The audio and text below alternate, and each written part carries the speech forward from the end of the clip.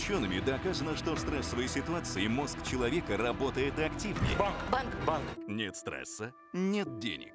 Доказано Марией Киселевой. Что с вами случилось? Слабое звено на телеканале Мир.